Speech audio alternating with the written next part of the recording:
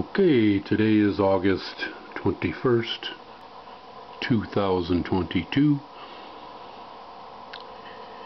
and it is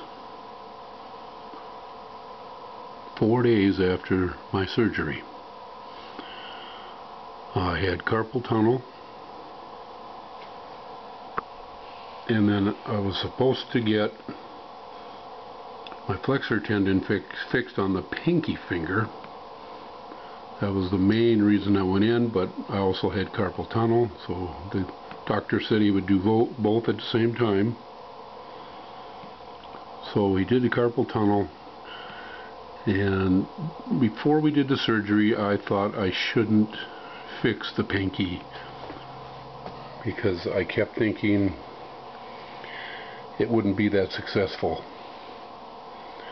because it was in zone 2 and it was a complete rupture. At least that's what I thought it was but he never really we never really checked it out. We took an x-ray. That didn't show anything. But we knew it was broken because I couldn't bend it. He just thought it came detached at the at the tip and he was just gonna make an incision there and staple the tendon back up at the tip of the finger.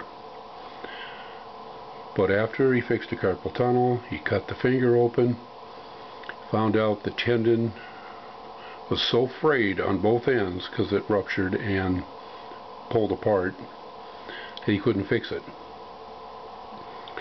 My only choice was to put a some kind of a substitute tendon in there, a fake one or plastic or something some type of material, sew it back up, and then later go back in there again and try to harvest one from someplace else and put it in.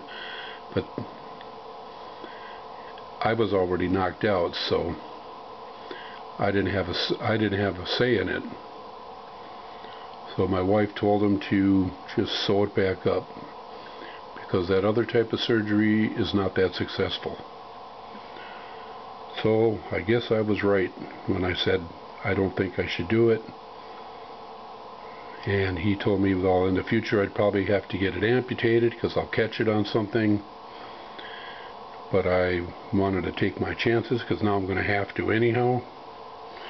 But I do have my finger cut open and I'm going to get this cast off, splint, splint cast combination hopefully tomorrow and start therapy on Tuesday. I'm going to see the doctor tomorrow. Tomorrow is Monday, the 22nd. So I hope to get this off. Hopefully the feeling will come back in my pinky. I won't be able to bend it ever, but at least I'll be able to use it a little bit. You know, I could push up on, or at least I could push up on it a little bit before that, but it hurt in my palm.